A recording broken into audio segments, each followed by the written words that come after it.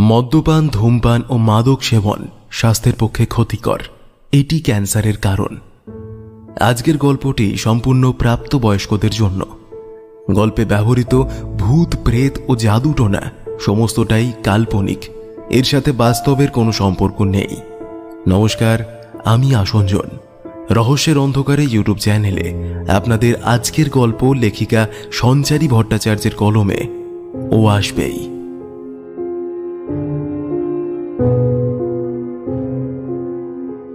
গ্রাম্য ভাবধারা এমনিতেই অনেক কুসংস্কারে আচ্ছন্ন। প্রেত বা পিসাচে তাদের তীব্র ভয় কাজ করে। আত্মহননের পরে আত্মা প্রেতে পরিণত হয় এবং সে তার ফেলে আসা অস্তিত্বকে খোঁজবার আশায় ব্যাকুল হয়ে ওঠে। সে খোঁজ বড়ই ভয়ঙ্কর।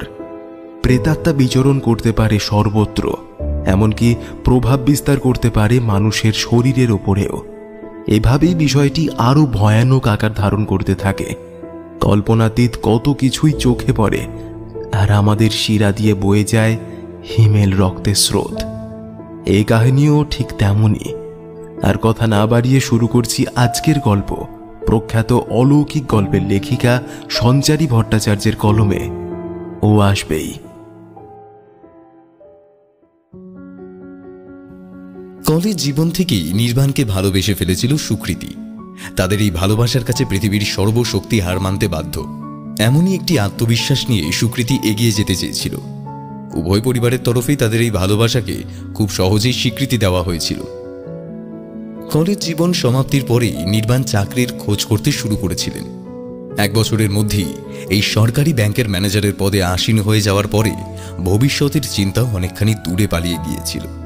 এরপরে ছিল গাঁটছাড়া বাধার প্রতীক্ষা। একে অপরকে নিয়ে আগামীর স্বপ্ন দেখার প্রতীক্ষা। উভয় পরিবারের তরফ থেকেই তাদের এই সম্পর্ককে পূর্ণতা দেওয়ার প্রয়াস শুরু হলো। তারা যাতে বৈবাহিক সম্পর্কে আবদ্ধ হতে পারে, সেই ব্যবস্থা করতে শুরু করলেন পরিবারের লোকেরা। ধীরে ধীরে বিবাহের দিন ক্রমে এগিয়ে আসতে লাগল। নির্বাণের মাতা পিতার কাছে সুকৃতির সৌন্দর্য নিয়ে কোনো প্রশ্ন না থাকলেও উভয়ের কুষ্টি বিচার করে বিবাহ দেওয়ার ক্ষেত্রে তারা এক বিশেষ তাগিদ অনুভব করেছিলেন। গ্রাম বাংলার চিরাচরিত প্রক্রিয়াগুলিকে আমরা কতজনই বা নিজের মনের থেকে আড়ালে রাখতে পারি? এর মধ্যেই নাকি উভয় পরিবারের শান্তি ও সুখ সমৃদ্ধি নিহিত থাকে। ছেলের পরিবারের এই আর্জিকে খণ্ডাতে পারার মতো সাহস আজও মেয়েদের পরিবারের হয়নি। তাই তাদের আর্জি মেনে নিয়ে সকলে নির্বাণের গ্রামের বাড়ির উদ্দেশ্যে রওনা হয়ে গেলেন। নির্বাণের দেশের বাড়িটি ছিল পশ্চিম মেদিনীপুরের এক প্রত্যন্ত গ্রামে। সুরিগঞ্জের এই উর্বর জমিতে বেশ ভালোই ফসল ফলত।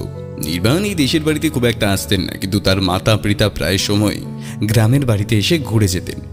এই গ্রামে তাদের জমি জমার অভাব ছিল না। ঠাকুরদার সময় থেকে এই গ্রামের ভিটেতে চাষবাসের প্রক্রিয়া প্রচলিত ছিল। তার থেকেই একটা মোটা টাকা আয় হয়ে যেত। নির্বাণের পিতাও এই গ্রামের স্কুলেই পড়াশুনো করেছিলেন। এরপর শহরে গিয়ে বাকি পড়াশুনোর কাজ সম্পন্ন করেছিলেন। বহুবার নির্বাণকে গ্রামের বাড়িতে ঘুরে যাওয়ার জন্য অনুরোধ করেছিলেন তার ঠাকুরদা।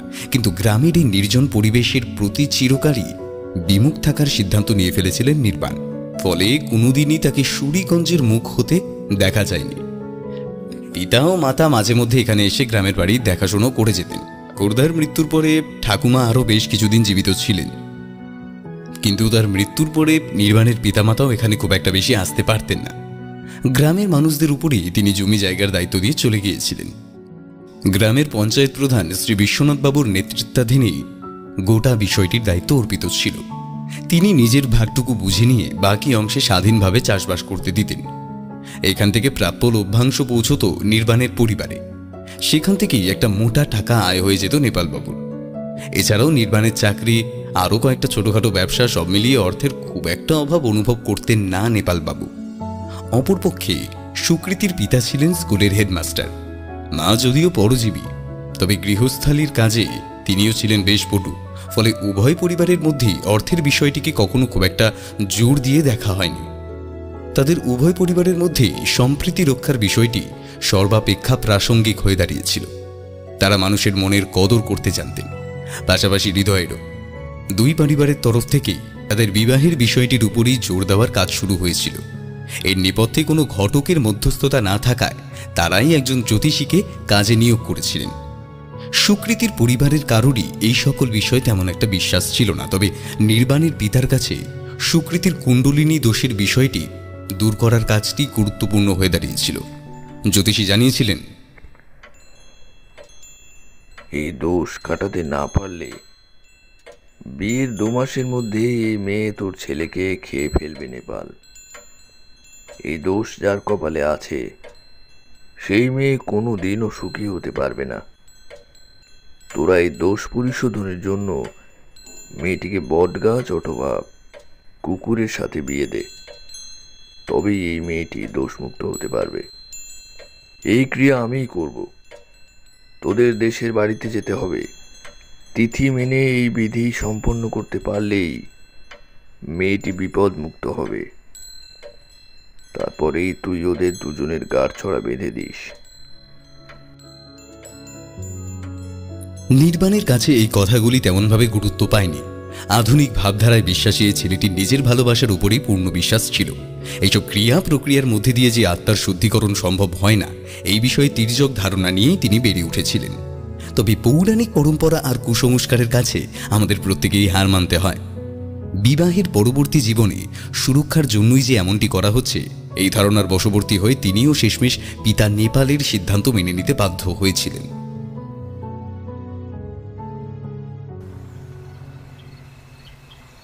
জানুয়ারি মাসের এক সন্ধ্যেতে সুরিগঞ্জের দিকে রওনা হয়ে গেলেন সকলে। সুকৃতি ও নির্বাণ রইলেন একটি গাড়িতে। আর দুজনের পিতামাতা সহ জ্যোতিষী বটুকেষ্ট চড়ে বসলেন আরেকটিতে। দুটি গাড়ি গ্রামের উদ্দেশ্যে এগিয়ে যেতে লাগল। সুরিগঞ্জে পৌঁছতে পৌঁছতে সন্ধ্যা হয়ে গেল। গাড়ি থেকে নামতেই নজরে পড়ল বিস্তীর্ণ চাষের জমি। নেপালবাবু সকলকে উদ্দেশ্য করে বললেন হ্যাঁ ব্যাস ব্যাস, এখানে গাড়িটা দাঁড় করিয়ে রাখুন। আজকের রাতটা আমরা আমাদের গ্রামের ভিটেতেই কাটিয়ে দিতে পারব। কোনো রকমে একটা রাত কাটিয়ে আগামীকাল সন্ধ্যের সময় যজ্ঞের কাজ সম্পন্ন করেই আবার কলকাতার উদ্দেশ্যে রওনা করা যাবে। আশা করি এই একদিনের মধ্যে খুব একটা অসুবিধার সম্মুখীন হতে হবে না কাউকে। নেপালবাবুর দিকে তাকিয়ে কেউই তেমনভাবে বাক্যবায় করতে চাইলেন না। তারা সকলেই জানতেন, উভয়ের বিবাহের কাজ সুসম্পন্ন করবার উদ্দেশ্যেই তাদের ওই গ্রামে আসতে হয়েছিল। পরে সকলেই যে যার নিজের জিনিসপত্র একত্রিত করে নেপালবাবুকে অনুসরণ করতে করতে তার ভিটিতে গিয়ে উপস্থিত হলেন। নেপালবাবু তাদেরকে উদ্দেশ্য করে বললেন আসুন আসুন আসুন আসুন, সকলে আসুন, ভিতরে আসুন। আসলে এখানে অনেক দিন ধরেই কারুর যাতায়াত নেই। তবে গ্রামের প্রধানকে বলাই ছিল তিনি কিছু লোকজনকে টাকার বিনিময়ে আমার বাড়িটিকে পরিষ্কার করে রাখতে বলেছিলেন। আশা করি তেমন একটা সমস্যা হবে না আর কি। নেপালবাবুর দেখানো পথ ধরেই সকলে এগিয়ে যেতে লাগলেন। ঘরের ভিতরে প্রবেশ করতে একটা গুমোট গন্ধ নাকে ভেসে এলো। গন্ধটা নাকে আসতেই সুকৃতির শরীর অস্থির করতে শুরু করল। নির্বাণ তার দিকে এগিয়ে গেলেন। তোমার কি শরীর খারাপ লাগছে সুকৃতি? আহা আসলে এতক্ষণের ধকল সহ্য করার অভ্যাস নেই তোমার। আর ঠিক সেই কারণেই বোধহয় এমনটি হচ্ছে তাই না? আচ্ছা দাঁড়াও দেখি আমি আলোটা জ্বালাই। বাবা আলোটা কোন দিকে গো? নেপালবাবু ছেলের দিকে তাকিয়ে বললেন মনে হয় না আলোর ব্যবস্থা রয়েছে। যদিও আমি টাকা পাঠিয়ে আলো লাগিয়ে দিতে বলেছিলাম ওদেরকে কিন্তু মনে হয় ওরা সেটা করতে আসেনি। এ আরেকটা সমস্যাও হতে পারে। এ গ্রামে প্রায়ই কারেন্ট থাকে না। ফলে এই কারণেই মনে হচ্ছে আলো জ্বালানো যাচ্ছে না। দাঁড়া দাঁড়া, আমি দেখছি। নেপালবাবু একটি দেওয়ালের দিকে এগিয়ে গিয়ে অন্ধকারে হাতড়াতে লাগলেন। ঘুটঘুটে অন্ধকারের মধ্যে কোনো রকমে খেই খুঁজে পেলেন ঠিকই, কিন্তু সুইচে হাত দেওয়ার পরেই আলো জ্বালানো সম্ভব হলো না। বেশ কয়েকবার সুইচটির উপরে কসরত করলেও কোনো সুরাহা হলো না। অগত্যা তিনি বিরক্ত সহকারে বললেন হ্যাঁ হ্যাঁ যা ভেবেছিলাম ঠিক তাই। গ্রামে কারেন্ট নেই আর ওই হতচ্ছাড়ার আমার কথাও রাখেনি। কালকেই আমি গ্রামের প্রধানটাকে আচ্ছা করে ঘা কতক দিয়ে দেব। হাত পেতে পয়সা নেওয়ার বেলায় সকলেই এক পায়ে এগিয়ে থাকে কিন্তু কাজের বেলায় সব অষ্টরম্ভা। নির্বাণ বললেন আচ্ছা বাদ দাও বাবা। এসব নিয়ে এখন আর মাথা গরম করে কোনো লাভ নেই। ভাগ্যিস, আমি বেশ কয়েকটা মোমবাতি নিয়ে এসেছিলাম। ওই দিয়েই আজকের রাতটা কাজ চালিয়ে নেওয়া যাবে। আশা করি আমাদের থাকার কোনো সমস্যা হবে না, কিন্তু বাথরুমটায় যেতে হলে তো বেশ সমস্যায় পড়তে হবে বলে মনে হচ্ছে। আসার পথে দেখলাম ঘর থেকে বেশ কিছুটা দূরে রয়েছে সেটা। আলো ছাড়া সেদিকটায় যাওয়াও তো বেশ বিপজ্জনক। দাঁড়াও, দেখি তোমরা এখানেই সব থাকো। আমি আর সুকৃতি গিয়ে গাড়ি থেকে মোমবাতি আর দেশলাইগুলো বরং নিয়ে আসি। ওরা সকলেই নির্বাণের কথায় সায় দিলেন। নির্বাণ সুকৃতিকে সঙ্গে নিয়ে গাড়ির উদ্দেশ্যে রওনা হয়ে গেলেন। পথে যেতে যেতেই সুকৃতির শারীরিক অবস্থার আরও অবনতি ঘটতে শুরু করল। কিছুটা দূরে যাওয়ার পরেই ক্ষেতের পাশের জমিতে কিছুটা ফাঁকা স্থান দেখে তরতর করে নেমে গেলেন সুকৃতি। তারপরেই একটি শুকনো গাছের ডাল ধরে বমি করতে শুরু করলেন। নির্বাণ বিষয়টি লক্ষ্য করা মাত্রই তার দিকে দৌড়ে গেলেন। কি হয়েছে সুকৃতি? সেই থেকে দেখছি তোমার শরীর অস্থির করছে। তখন থেকেই দেখতে পাচ্ছি তোমার অস্বস্তি হচ্ছে। ঠিক কি হচ্ছে, আমায় একটু বলবে? আমি কিছু ওষুধ তো সঙ্গে করে নিয়েই এসেছি। তেমনটা হলে আমি তোমাকে দিচ্ছি। মনে হচ্ছে এতটা জার্নি করে আসবার ফলেই তোমার বদ হজম হয়ে গেছে। এছাড়া গাড়িটাও রাস্তায় কোথাও দাঁড়ায়নি। তাড়াহুড়োতে সারাদিন তেমনভাবে কিছু খাওয়া দাওয়াও করতে পারোনি তুমি। আর এই পেট খালি থাকার জন্যই তোমার সমস্যা হয়ে গেছে। যাক, একটু উঠে এসো। আর বমি করো না। এই, নিজেকে একটুখানি সামলাও। ওরা এসব জানতে পারলে খুব দুশ্চিন্তা করতে শুরু করবে তো। বুঝতেই তো পারছ, একেবারে অজ পাড়াগা এখানে ডাক্তার বুদ্ধির কোনো ঠিকানাও খুঁজে পাওয়া সম্ভব নয়। আর এই অবস্থায় যদি তোমার শরীর আরও বিগড়ে যেতে শুরু করে, তাহলে তো সেটা রিস্ক হয়ে যাবে। গাড়িতে কিছু খাবার রয়েছে। মা আসবার সময় রান্না করেই নিয়ে এসেছিল। এছাড়া তোমার মাও তো অনেক কিছু রান্না বান্না করে নিয়ে এসেছেন বললেন। ঘরের মধ্যে উনুন তো রয়েছেই সেখানেই খাবারগুলো গরম করে নেওয়া যাবে। চলো সুকৃতি চলো একটু শান্ত হও। নির্বাণের কথায় বেশ কিছুটা শান্তি অনুভব করলেন সুকৃতি। বমিটা বন্ধ হলেও মাথাটা ভার লাগছিল। নির্বাণকে উদ্দেশ্য করে বললেন জানি না জানি না ঠিক কেন এমন হচ্ছে। আজকে সকাল থেকেই তো শরীরটা ঠিকই ছিল। কিন্তু এই গ্রামে পা রাখার পর থেকেই শরীরটা অদ্ভুত রকম খারাপ লাগছে। ঠিক ঠিক বুঝতে পারছি না। বারবারই গা গোলাচ্ছে, বমি পাচ্ছে। আগেও বহুবার খালি পেটে থেকেছি, কিন্তু এরকম শরীর খারাপ তো কোনোদিন হয়নি। এখন কেন এরকম লাগছে? কিছুতেই বুঝতে পারছি না। কথাটা শেষ করতে না করতে আরও কিছুটা বমি হয়ে গেল সুকৃতির। বিষয়টি দেখেই মাথায় হাত পড়ল নির্বাণের। আচ্ছা তুমি এখানে কিছুটা সময় অপেক্ষা করো সুকৃতি। আমি আসছি। এই গাড়ি থেকে খাবার দাবার আর মোমবাতিগুলো নিয়ে চলে আসব। মা বাবারা শুধু জামা কাপড়ের ব্যাগগুলোই তো নিয়ে এসেছেন। বাকি প্রয়োজনীয় জিনিসপত্রগুলো তো গাড়িতেই রয়ে গেছিল। সেগুলোই নিতে যাচ্ছি। তুমি এখান থেকে কোথাও চলে যেও না। কেমন? সুকৃতি নির্বাণের কথায় ঘাড়ে নেড়ে সায় দিলেন। নির্বাণ এগিয়ে গেলেন গাড়ির দিকে। রাতের আধার গায়ে মেখে স্থবির চিত্তে দাঁড়িয়েছিল গোটা জায়গাটি। ওই জায়গাটির সাথে কোনো এক নিবিড় সম্পর্ক অনুভব করছিলেন সুকৃতি। কারুর উপস্থিতি বারে বারে তার মনের মধ্যে উকি দিচ্ছিল। অনিচ্ছা সত্ত্বেও স্মৃতিভ্রষ্ট হয়ে যাওয়া পুরাতন অতীতের কিছু অধ্যায় ঘাঁটতে ঘাঁটতে হঠাৎ নজরে পড়ল এমন কিছু যা দেখা মাত্রই তার সারা গায়ে কাটা দিয়ে উঠল। ঝোপের আড়াল থেকে ভেসে আসা পায়ের শব্দগুলি অজানা কোনো ভয়ের আভাস বহন করে আনতে চাইছিল তার সামনে। কম্পমান গলার শটটা রাতের আধারকে চূর্ণ বিচূর্ণ করে এগিয়ে গেল সেদিকে। সুকৃতি নিজের অস্তিত্বকে সামলে নেওয়ার চেষ্টা করে মৃদু কণ্ঠে জিজ্ঞেস করলেন কে কে কে কে কে ওখানে? কে ওখানে? আমাকে আমাকে আমাকে ভয় দেখানোর চেষ্টা করবেন না। কেমন? কে কে কে ওখানে? কে ওখানে? বেরিয়ে আসুন। বেরিয়ে আসুন বলছি। এক্ষুনি বলছি বেরিয়ে আসুন। জিজ্ঞাসা শেষ হতেই আবার চারিপাশের পরিবেশটি আগের মতোই শান্ত হয়ে পড়ল। মনে হচ্ছিল কিছুক্ষণ আগে হওয়া শব্দগুলি সনসনে হাওয়ার স্রোতে কোথাও যেন গায়েব হয়ে গিয়েছিল। সেই হাওয়ার টানের সাথে সাথে সুকৃতির বুকের ভিতরে জমে থাকা ভয়গুলিও আস্তে আস্তে দিক পরিবর্তন করতে শুরু করেছিল। ঠিক সেই সময়ে হঠাৎ কারোর কণ্ঠস্বর তার মনের ভিতরে থাকা উদ্বেগকে আরও বাড়িয়ে দিল। কিরে সুকৃতি চিনতে পারছিস আমাকে? এত সহজে তো ভুলে যাওয়ার কথা নয় আমাকে। গলার স্বরের সাথে অতীতের সেই স্মৃতি বিজড়িত কণ্ঠের অদ্ভুত মিল পেল সুকৃতি। সামনে তাকাতেই দেখল সম্বিত দাঁড়িয়ে। বিষয়টা দেখা মাত্রই পুনরায় গায়ে কাটা দিয়ে উঠল তার। তুই? তুই এখানে এলি কীভাবে? তোর সাথে তো সেই কলেজের পর আর কোনো দিন দেখাই হয়নি। এছাড়া এত রাতে এরকম একটা নির্জন জায়গায় সত্যিই অবাক হচ্ছি। সম্বিত বেশ কিছুটা দূর থেকেই দাঁড়িয়ে মৃদু হাসলেন তারপর সুকৃতিকে উদ্দেশ্য করে বললেন আরে তোকে বলেছিলাম না আমি এই গ্রামেই থাকি। কলেজে পড়াকালীনই বলেছিলাম। তোর একেবারেই মনে নেই হয়তো। আসলে, তোরা এখানে আসবি, সেটা আমি একেবারেই জানতাম না। আর গ্রামের প্রধানের কাছ থেকে খবরটা পেয়েই দেখতে এলাম। ওই গ্রামের প্রধানের সাথে আমার বাবার খুব ভালো সম্পর্ক, জানিস তো? তাই তিনি আমাদেরকে জানালেন। এছাড়া নেপাল কাকুর বিটের দেখাশোনা করার জন্য, আমি আর গ্রামের বেশ কিছু ছেলের সাথেও কথা বলেছিলাম। তাই আর কি এসব ব্যাপারে খবর রেখেছি। তুই হঠাৎ এখানে?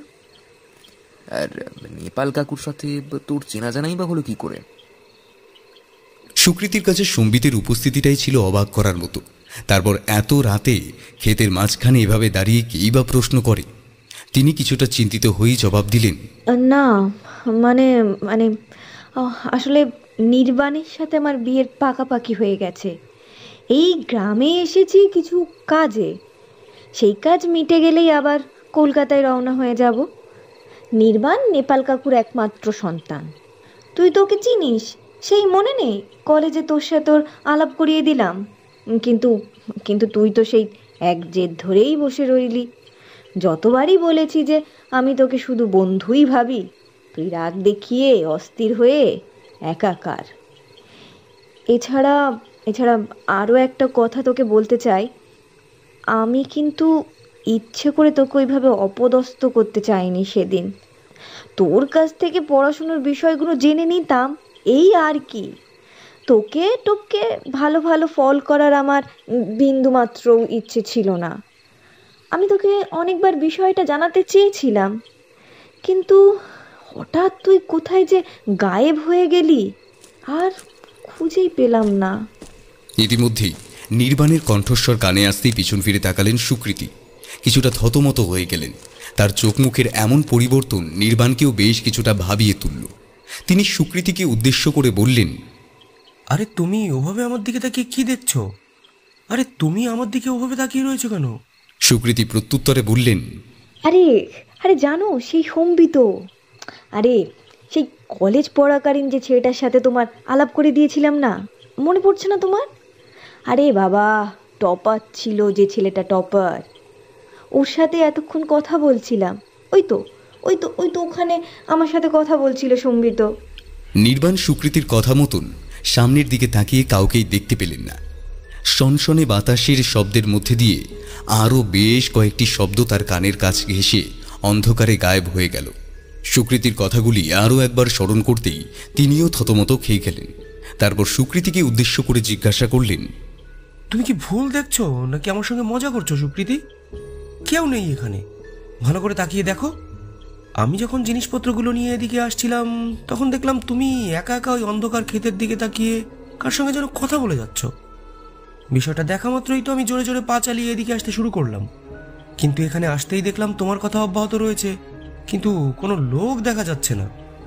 বিষয়টা দেখেই তো আমি তোমার দিকে নজর ঘোরালাম।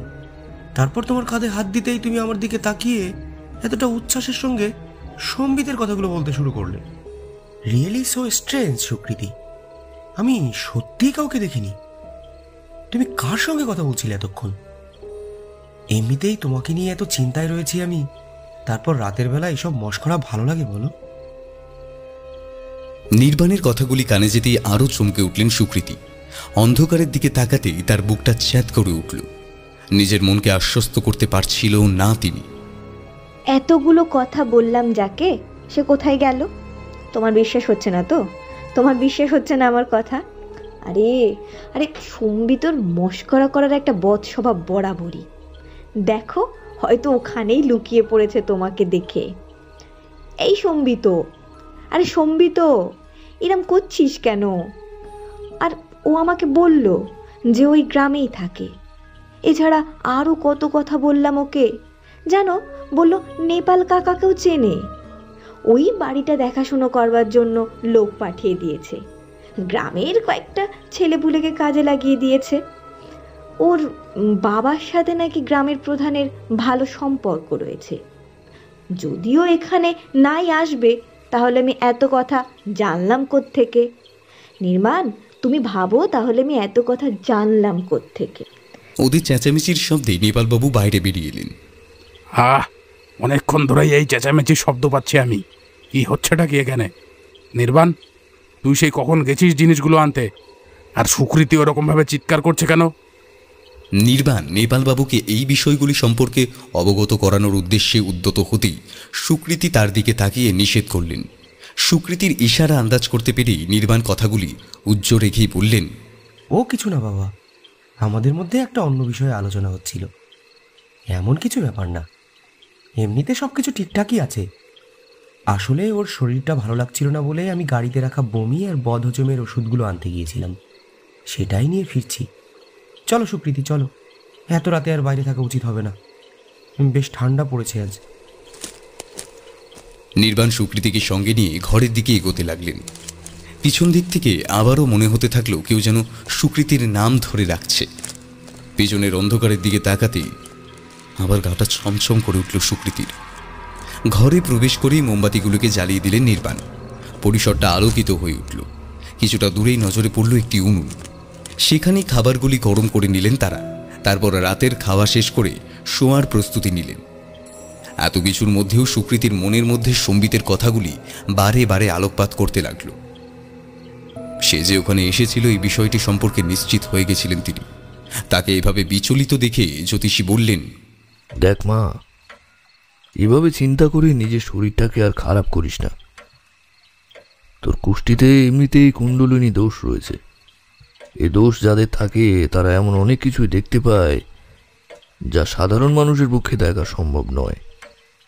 এই জন্যই তো শরীরটাও খারাপ করেছে। এছাড়া রাতের বেলা এই গ্রামগঞ্জে সকল রকমের উপদ্রব দেখতে পাওয়া যায়। তোর রাসটাও হালকা। তাই বোধহয় তুই ভুলভাল জিনিসপত্র দেখেছিস। সুকৃতি জ্যোতিষীকে উদ্দেশ্য করে বললেন সম্বিতকে কি আপনি ভূত বা পেতাত্মা ভাবছেন নাকি? আরে আরে সে বেঁচে রয়েছে। ও আমাদের সাথেই কলেজে পড়াশুনো করতো। এই গ্রামেই ওর পৈতৃক বাড়ি ছিল।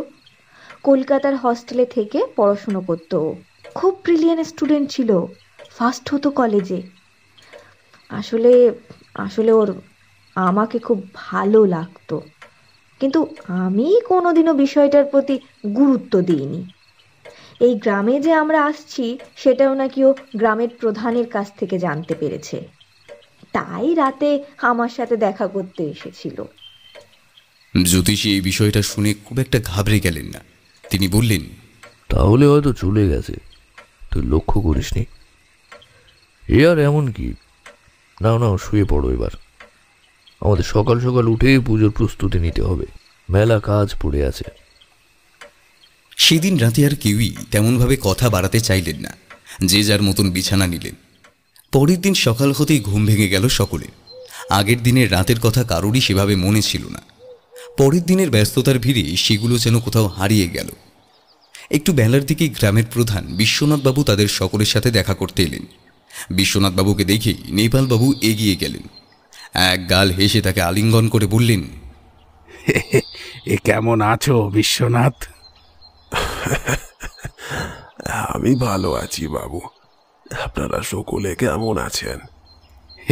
আমরাও বেশ আমরাও সকলে বেশ ভালো আছি বিশ্বনাথ।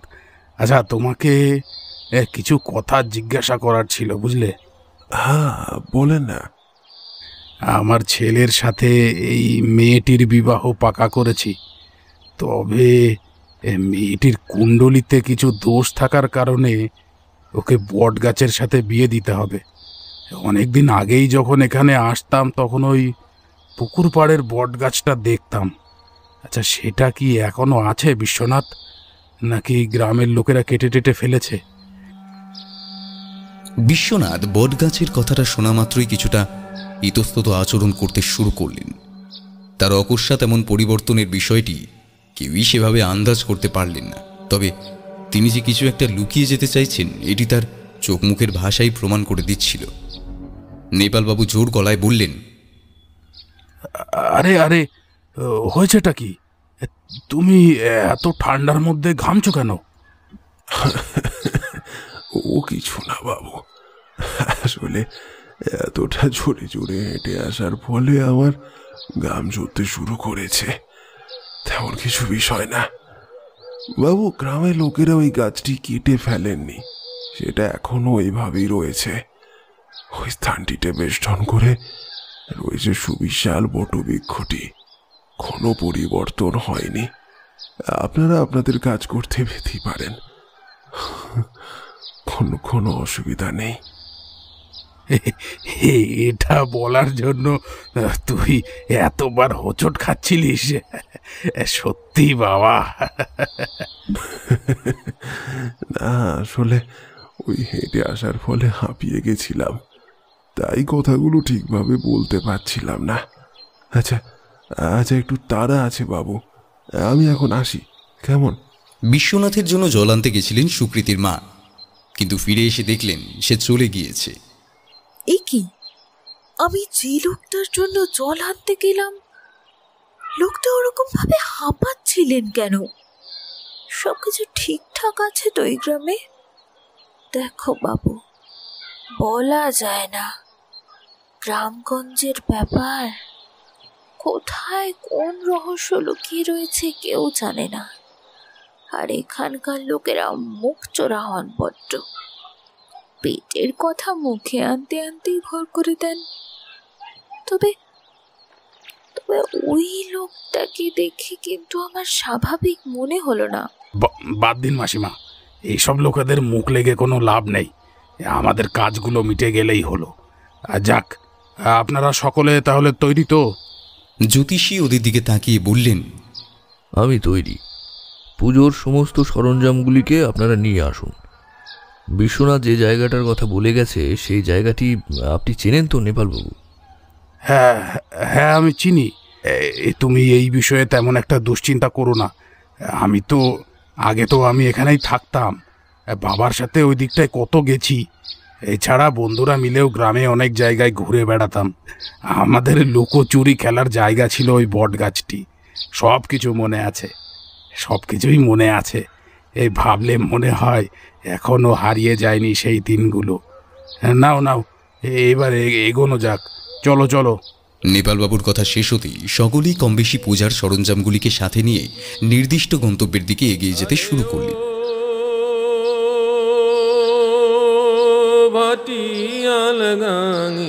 নাইয়া। ঠাকুর ভাইরে কইও আমায় ঠাকুর ভাইরে কইও আমায়, নায়র নিত আইয়া রে ভাটিয়াল গাঙের নাইয়া। আরে ও গ্রাম্য পথ ধরে বেশ কিছুটা এগিয়ে যাওয়ার পরই নজরে পড়ল একটি সুবিশাল বটবৃক্ষ এটি বাঁধানো পুকুর ঘাটের ধার ঘেসে দাঁড়িয়েছিল সেটি। দূর থেকে মাঝিদের গানের শব্দ ভেসে আসছিল। জ্যোতিষী বললেন যাক, আমরা সঠিক স্থানেই পৌঁছে গেছি। সন্ধে হতে যায়। আপনারা সকলে গোল হয়ে এই স্থানটিতে বসে পড়ুন। কিছু নির্দিষ্ট বিধি মেনে আমাদের প্রক্রিয়াটি সম্পন্ন করতে হবে। জ্যোতিষীর কথা মতন সকলেই স্থানটিতে গোল হয়ে বসে পড়লেন। তারপর একে অপরের মুখের দিকে তাকিয়ে জায়গাটি সম্পর্কে নানান কথা বলতে লাগলেন। এই সময় একটি অপ্রকৃতিস্থ লোককে নজরে পড়তেই প্রচণ্ড ঘাবড়ে গেলেন সকলে। লোকটিকে তারা ওই বটগাছের সামনে দাঁড়িয়ে বীজ করে নানান কথা বলে যেতে দেখলেন। লোকটিকে দেখা মাত্রই সকলের মনে হলো তিনি হয়তো পাগল। নোংরা জামা কাপড়ের আড়ালে লুকিয়ে থাকা রহস্যময় চেহারাটিকে পরবার সামান্য সময়টুকু ব্যয় করলেন না কেউই। মতাবস্থায় হঠাৎ গ্রামের প্রধান বিশ্বনাথবাবু এসে উপস্থিত হলেন। তিনি ওই লোকটিকে দূর দূর করে স্থানটি থেকে তাড়িয়ে দিতে লাগলেন। লোকটি বিশ্বনাথবাবুর দিকে ড্যাব ড্যাব করে তাকিয়ে কী সব করতে করতে স্থানটি ত্যাগ করে চলে গেলেন। বিষয়টি সকলের চোখে পড়লেও কেউই তেমনভাবে আগ্রহ প্রকাশ করলেন না। নেপালবাবু সহসা বিশ্বনাথকে উদ্দেশ্য করে বললেন আচ্ছা আচ্ছা কে- লোকটা কে? উদ্বাস্তুর মতন এখানে উপস্থিত হয়েছিল কেন? গাছটিকে লক্ষ্য করে বিড়বিড় করে কি বলে যাচ্ছিলেন? তুমি ওই লোকটিকে এভাবে তাড়িয়েই বা দিলে কেন? বিশ্বনাথবাবু আবার কোনো একটা বিষয়কে গোপন করার চেষ্টা করতে করতে বললেন, ও সব পাগল ছাগল লোক দাদা বাবু। ওসব লোকেদেরকে তেমন গুরুত্ব দেবেন না। জানি না কেন এই লোকটা বটতলার আশেপাশে দিবা রাত পড়ে থাকেন। কি যে আছে এখানে তো একমাত্র তিনি জানেন। গ্রামের লোকেরা লোকটিকে রাতের বেলাতে ওই গাছের সাথে কথা বলতে দেখেছে। শুধু কথা বলতে দেখেছে ভুল হবে। লোকটি এক প্রকার ছকরা করে। দেখে মনে হবে ওখানে কেউ যেন রয়েছে। তার সাথে উনি কথা বলে চলেছেন। এইসব কথা শোনা মাত্রই বাকিদের শিরা বেয়েও হিমেল রক্তের স্রোত বয়ে গেল। বটগাছ নিয়ে পৌরাণিক ইতিহাসে এমনকি ভারতীয় শাস্ত্রে এমন অনেক কথাই বর্ণিত রয়েছে, যেগুলি একটি ভয়ঙ্কর অতীত রয়েছে। আর সেই অতীতের সাথে জুড়ে রয়েছে মানুষের ভবিষ্যৎ। তাই সকলেই কম বেশি বিষয়টিকে এড়িয়ে যাওয়ার চেষ্টা করতে লাগলেন। নেপালবাবু বিশ্বনাথকে উদ্দেশ্য করে বললেন, আমাদের আমাদের ক্রিয়া সম্পন্ন হওয়া পর্যন্ত তুমি এখানেই দাঁড়িয়ে পাহারা দেবে। কেউ যেন এখানে আসতে না পারে। আমি চাই না এখানে কেউ এসে বাধার সৃষ্টি করুক। এমনিতেই মেয়ের ভাগ্যে একাধিক দোষ রয়েছে। যতবার ক্রিয়াটি সম্পন্ন করবার চেষ্টা করেছি, ততবারই কোনো না কোনো বাধার সম্মুখীন হয়েছি আমরা। তাই আর কোনো সমস্যা চাই না আমি। যত তাড়াতাড়ি সম্ভব কাজ গুছিয়ে এখান থেকে চলে যেতে হবে। বুঝতেই পারছি কোনো একটা শক্তি আমাদের বাধা দিতে চাইছে। কিন্তু সেটা কি? নেপালবাবুর মুখে এসব কথা শুনেই ঘাবড়ে গেলেন। জ্যোতিষী নিজের কাজে মন দিলেন। তিনি সুকৃতিকে উদ্দেশ্য করে বললেন তুমি এখানে উঠে এসো মা। এই বটগাছটিকে তোমাকে সাতবার প্রদক্ষিণ করতে হবে। নির্বাণের সাথে বিবাহের পূর্বে তোমায় কায়মন বাক্যে এই বটগাছটিকেই নিজের স্বামী হিসেবে বরণ করতে হবে। বটের সাথে বিবাহ সম্পন্ন হলে পর তুমি দোষমুক্ত হবে। গাছটিকে প্রদক্ষিণ করবার সময়ে তুমি পিছনের দিকে ফিরে তাকাবে না। এই প্রক্রিয়া দোষ নিবারণের জন্যই করা হচ্ছে। তাই এই ক্রিয়ার মাঝে যদি কোনো বিঘ্ন ঘটে, তো হিতে বিপরীত হতে পারে। তাই খুব সাবধানে। আমি যখন বলব, তখনই তুমি থামবে। সাত পাক দেওয়ার সময় তুমি লাল সুতোটিকে গাছের সাথে জড়িয়ে জড়িয়ে এগিয়ে যাবে। এখানে যতখানি সুতো রয়েছে, তা সাতবার পাক দেওয়ার পক্ষে যথেষ্ট। তুমি মনে করবে, নির্বাণের সাথেই তোমার বিবাহ হচ্ছে। আর আমার বলা মন্ত্রগুলিকে নিজেও আওড়াবে মনে মনে। এক মনে ক্রিয়া সম্পন্ন করে তুমি আমার সামনে এসে বসবে। এরপর পুকুরের দিকে এগিয়ে যাব আমরা। তারপর দুবার ডুব দিয়ে উঠে আসবে তুমি। ব্যাস। এই ক্রিয়া সম্পন্ন হয়ে যাবে। দোষ নিবারণ হয়ে যাওয়ার পরে এই লাল ধাগাটি আমি তোমার ডান হস্তে বেঁধে দেব। তারপর গিয়ে ক্রিয়া সমাপ্ত হবে।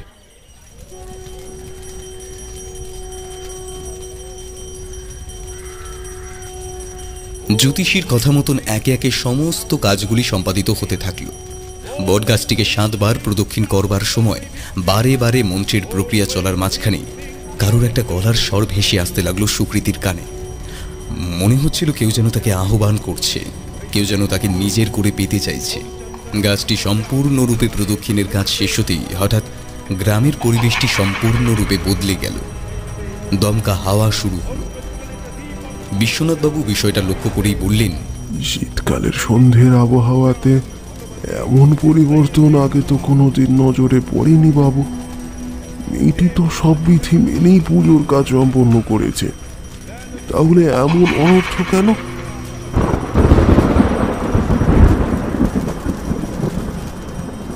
বিশ্বনাথবাবুর কথাটি শেষ হওয়ার সাথে সাথেই প্রচণ্ড জোরে মেঘ গর্জন করতে শুরু করল। বৃষ্টির তীব্রতা ক্রমেই বেড়ে চলল। প্রবল ঝড় বৃষ্টির মধ্যে যজ্ঞের আগুনটিও নিভে গেল। সুকৃতি জ্যোতিষীকে উদ্দেশ্য করে বললেন তাহলে কি আমি পুকুরে ডুব দেব না? জ্যোতিষী অত্যন্ত ভীত সন্ত্রস্ত হয়ে বললেন না এমতো অবস্থায় পুকুরে ডুব দেওয়া থেকে বিরত নেওয়াই শ্রেয় হবে। এছাড়া অন্ধকারের মধ্যে কোনো কিছু চোখে পড়ছে না। তারপরে আবার এই প্রবল বৃষ্টি। তোমার জীবন সংশয়ের সম্ভাবনা থাকতে পারে। এমনিতে প্রক্রিয়ার কাজ বিধি মেনেই সমাপ্ত হয়ে গেছে। এর থেকে বেশি কিছু এই মুহূর্তে প্রয়োজন নেই। এছাড়া যতটুকু প্রয়োজন ছিল সেটা সুসম্পন্ন হয়েছে। এখানে দাঁড়ানো আর সমীচীন হবে না। চলো, গাড়ির দিকে এগিয়ে যাওয়া যাক। বিষয়টি বুঝতে না পেরে সকলেই গাড়ির দিকে এগিয়ে যেতে শুরু করলেন। কারুর কাছে বিষয়টি খুব একটা পরিষ্কারভাবে ধরা দিতে চাইছিল না। প্রত্যেকের চোখে মুখেই অসন্তোষের ছাপ ছিল স্পষ্ট। মনের মধ্যে অসম্পূর্ণতার উদ্বেগ নিয়েই সকলে গ্রাম ত্যাগ করলেন।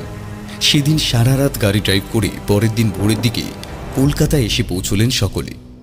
সকলেই যে যার বাড়িতে চলে গেলেন।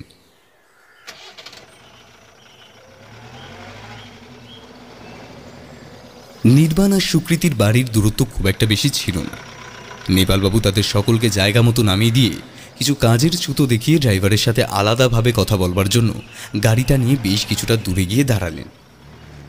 ড্রাইভারটি গাড়ি থেকে নেমে একটি ব্রিজের ধারে দাঁড়িয়ে দূরের জঙ্গল দেখতে দেখতে নেপালবাবুকে উদ্দেশ্য করে বললেন, স্যার আপনাকে আমি কাল থেকে একটা কথা বলব বলব ভাবছি, কিন্তু আপনি তো কিছুতেই আমার কথাটা শোনার চেষ্টা করছেন না।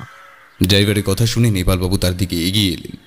তারপর তাকে এক ধমক দিয়ে বললেন, তোকে তোকে কতবার বারণ করেছি না পরিবারের সামনে? আমাকে কোনো কথা না বলতে। আর তুই বারে বারে গাড়ির মধ্যে আমাকে ইশারা করেই যাচ্ছিলিস। যদি একবার বিষয়টা কেউ বুঝতে পেরে যেত, তখন কি হতো?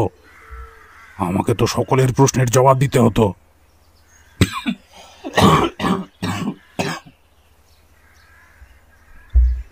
আমিও তো কিছুই জানি না এই বিষয়ে। তাহলে সেটা তুই একবার ভেবে দেখবি না। আমার মুখটাই থাকতো না। ড্রাইভার বিশু বললেন স্যার আসলে ব্যাপারটা হচ্ছে ওই গাছটা বুঝলেন? কালকে রাতের বেলা আপনারা যখন সবাই ঘরে চলে গেলেন তখন আমি গাড়িটা নিয়ে একটু এদিক ওদিক ঘুরতে বেরিয়েছিলাম। গ্রামের দিকে তো আর তেমন আসা হয় না তাই ভাবলাম এই সুযোগে যদি আশপাশটা একটু ঘুরে দেখে আসা যায়। কিন্তু আমি যা দেখলাম তাতে নিজের চোখে বিশ্বাস করতে পারছিলাম না। নেপালবাবু চমকে উঠলেন। কেন? কি- এমন দেখেছিস তুই? ড্রাইভারটি কিছুক্ষণের জন্য থমকে গিয়ে বললেন রাস্তা দিয়ে গাড়ি চালাতে চালাতে দেখলাম ক্ষেতের মাঝে কিছু একটা যাচ্ছে। দূর থেকে দেখে মনে হয়েছিল কোনো ছেলেপুলে হবে হয়তো। কিন্তু গাড়ি ছুটিয়ে সামনের দিকে যত এগোতে থাকলাম, তত সেই দেহটি ধীরে ধীরে বায়বীয় কোনো জিনিসে পরিণত হয়ে গেল। মনে হলো যেন একরাশ ধোয়া ক্ষেতের মাঝখান থেকে বেরিয়ে চলেছে। আমি চিরকালই একটু ডাকাবুকো স্বভাবের। এই ধোঁয়াটিকে লক্ষ্য করে গাড়িটাকে আস্তে আস্তে ছোটাতে লাগলাম। দেখলাম সেটি ধীরে ধীরে অগ্রসর হয়ে পুকুর পাড়ের ওই বট গাছের কাছে এসে গাছটিকে বেষ্টন করে গোল গোল করে ঘুরতে শুরু করল। আমি মাথা মুন্ডু বুঝতে না পেরে গাড়ি থেকে নেমে সেদিকে এগিয়ে গেলাম। এগিয়ে গিয়ে দেখলাম সেটি একটি ধীরে ধীরে বিশাল আকার চেহারা নিল।